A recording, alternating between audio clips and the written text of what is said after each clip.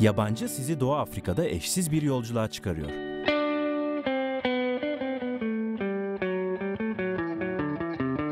Tamamını Türk ekibin görüntülediği, Türk televizyonlarının vahşi doğa temalı ilk dizi belgeseli Yabancı, TRT belgesel ekranlarında.